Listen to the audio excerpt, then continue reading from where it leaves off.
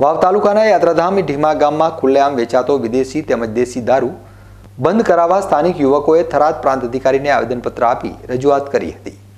બનાસકાંઠા જિલ્લામાં અનેક વિસ્તારોમાં વિદેશી તેમજ દેશી દારૂની મોટા પાયે વેચાણ થાય છે અને તેમાં આજનું યુવાધન દારૂના રવાડે ચડી પોતાની જિંદગી બરબાદ કરી રહ્યા છે.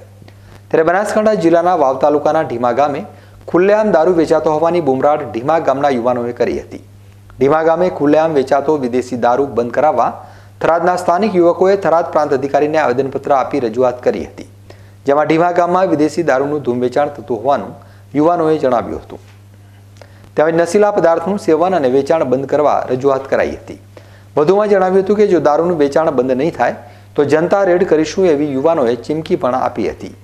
એકત્રીસ ડિસેમ્બરને હવે ગણતરીના દિવસો જ બાકી છે ત્યારે આ યુવાનો નવા વર્ષની ઉજવણીમાં માદક પદાર્થનો ઉપયોગ કરી ઉજવણી કરતા હોય છે.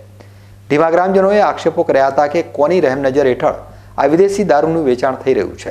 જો ઢીમા ગામમાં ખુલ્લેઆમ દારૂ વેચાતો હોય, તો શું વાવ પોલીસને આની જાણ નહીં હોય એવા અનેક સવાલો ઉઠવા પામ્યા છે. અમારે અહીંયા યાત્રાધામ ઢીમાનું ધરણેશ્વર ભગવાનનું મોટું મંદિર આવેલું છે. બરાબર, ઢીમાની અંદર જાહેરમાં દારૂ વેચાય છે. જે, જેમ કે સ્કૂલ આગળ વેચાય છે, સ્કૂલ આગળ ખુલ્લેઆમ વેચાય છે ઘેરની બાજુમાં વેચાય છે. પછી એના પછી બસ સ્ટેશન આગળ વેચાય છે.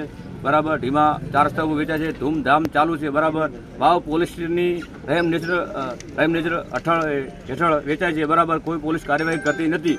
એનો અને કોઈ કોઈ પગલાં લેતું નથી, બરાબર? એના માટે વાવ મોહમ્મદ સાહેબને આવેદનપત્ર આપેલું છે, બરાબર? ધરાજ પ્રાંતમાં આવેદનપત્ર આપેલું છે, બરાબર? ને એએસપી પૂજા યાદવ સાહેબને આપવામાં આવ્યા છે ધરાજ અને નિવેદન રજૂ કરું છું. ઓકે. આજે અમે ઢીમા મુકામેથી દોઢસોથી બસો યુવાનો અહીં આવેલા વાવ અને થરાદ પણ આવ્યા વાવ આવેદનપત્ર આપેલ અને ઢીમાની અંદર ખુલ્લેઆમ જાહેર બસ સ્ટેન્ડ, જાહેર પ્રાથમિક શાળા, જાહેર પાણી પીવાનું ટોંકું, ત્યાં જગ્યાએ ખુલ્લેઆમ દારૂનું વેચાણ થાય છે. માર્કેટ યાર્ડની બાજુમાં પણ થાય છે. વારંવાર પોલીસને પણ રજૂઆત કરેલ છે.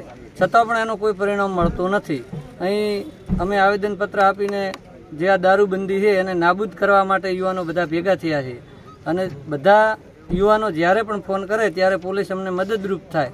અને જનતા રેડ કરી અને આ કાયમી માટે દૂષણ નાબૂદ થાય એવી અમે એમને સહકાર આપવા વિનંતી કરી